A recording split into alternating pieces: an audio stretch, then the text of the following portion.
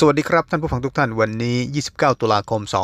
2024 ฝ่ายประชาสัมพันธ์ของกองกำลังป้องกันประเทศอิสราเอลได้รายงานว่า กลุ่มเฮชบลเลาะยังคงปฏิบัติการ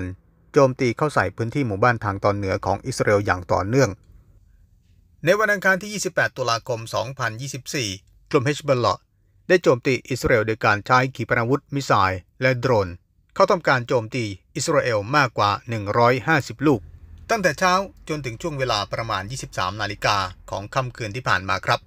และในขณะเดียวกันในช่วงเช้าของวันที่ 28 ตุลาคม 2024 กองทัพอิสราเอลได้มีการประกาศแจ้งเตือนให้ประชาชน ในพื้นที่เขตเมืองไทระ ให้อพยพออกจากพื้นที่ โดยได้มีการประชาสัมพันธ์เป็นภาษาอาหรับ ให้ชาวเลบานอนในไทระได้รับทราบ และได้อพยพออกจากพื้นที่ดังกล่าว มีการขีดเส้นให้เห็นชัดเจน ผ่านโปสเตอร์ประชาสัมพันธ์ของ IDF IDF ได้ประกาศว่าให้ชาวเลบานอนที่อยู่ภายในพื้นที่ดังกล่าว อพยพออกไปให้ห่างๆ จากที่อยู่อาศัย ฐานอาวุธ หรือพื้นที่ปฏิบัติการของกลุ่มเฮชบอลในไทระ หลังจากที่ IDF ได้มีการประกาศแจ้งเตือนประชาชนชาวเลบานอนในไทระแล้ว อิสราเอลก็ส่งเครื่องบินรบเข้าทำการโจมตีพื้นที่เป้าหมาย ซึ่งเป็นฐานที่มั่นฐานปฏิบัติการของกลุ่มเฮชบลในไทระ ฝ่ายประชาสัมพันธ์ของ IDF ได้รายงานว่า จุดศูนย์กลางของเมืองไทระนั้นเป็นฐานที่มั่นของกลุ่มเฮชบลที่มีชื่อว่ากลุ่มอาซิส กลุ่มอาซิสได้ทำการโจมตีเข้าใส่หมู่บ้านทางตอนเหนือของอิสราเอล โดยใช้ฐานปฏิบัติการในพื้นที่ส่วนหนึ่งของเมืองไทระเข้าทำการโจมตีอิสราเอล ในช่วงที่ผ่านมา ก่อนที่อิสราเอลจะดำเนินการโจมตีพื้นที่เป้าหมายในเลบานอนนั้น ก็จะมีการแจ้งเตือนให้ประชาชนได้รับทราบก่อน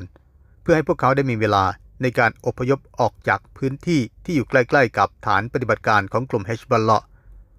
การประชาสัมพันธ์ให้ชาวเลบานอนได้รับทราบ มีทั้งการประกาศเป็นเสียง รวมทั้งการประชาสัมพันธ์ผ่านช่องทางออนไลน์ ในช่วงสัปดาห์ที่ผ่านมากองกำลังป้องกันประเทศอิสราเอลได้ปฏิบัติการเคลียร์พื้นที่เคลียร์ฐาน ฐานปฏิบัติการของกลุ่มเฮชบอลเลาะคลังอาวุธ เครือข่ายอุโมงค์ใต้ดินของกลุ่มเฮชบอลเลาะในพื้นที่ทางตอนใต้ของเลบานอนอย่างต่อเนื่อง และในพื้นที่คาฟาเคลา ที่เป็นฐานที่มั่นของกลุ่มเฮชบอลเลาะนั้น IDF ได้ส่งทหารเข้าไปทำการเคลียร์ฐานเคลียร์อุโมงค์ใต้ดินของกลุ่มเฮชบอลเลาะด้วย มีการสู้รบกันที่นั่น ทหารอิสราเอลสังกัดกองพลที่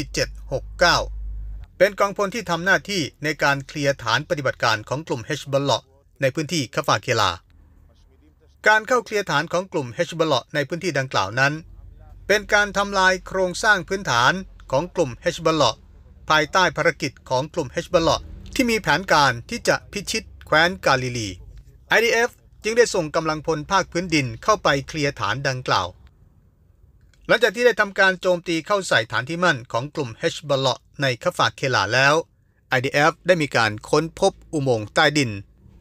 และได้ทำการยึดอาวุธของกลุ่มเฮชบอลเลาะได้เป็นจำนวนมาก จากนั้นได้มีการทำลายอุโมงค์ฐานปฏิบัติการของกลุ่มเฮชบอลเลาะในคาฟาเคลานั้น มักจะมีการใช้บ้านเรือนของพลเรือนเป็นฐานปฏิบัติการ ฝ่ายประชาสัมพันธ์ของ IDF ได้รายงานว่าทหารอิสราเอลได้ยกกำลังพลเข้าไป บุกทลายฐานที่มั่นของกลุ่มฮามาสในพื้นที่ฉนวนกาซา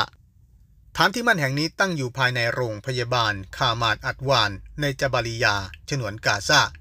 ก่อนเข้าทำการปฏิบัติการโจมตีในพื้นที่ดังกล่าว อิสราเอลได้มีการสแกนตรวจหาหาข้อมูลอย่างละเอียด จากนั้นได้มีการอพยพ ประชาชนที่อยู่ภายในโรงพยาบาลดังกล่าวออกจากพื้นที่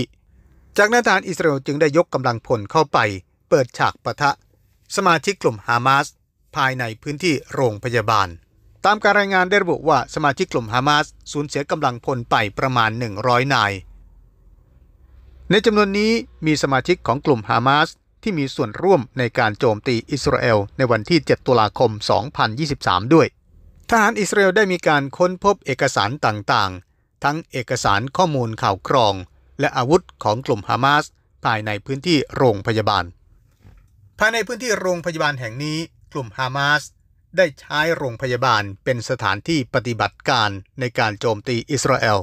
และเป็นสถานที่ในการกักขังตัวประกันที่กลุ่มฮามาสจับกลุ่มตัวไป และได้ใช้เป็นสถานที่สำหรับสะสมอาวุธของกลุ่มเฮชบล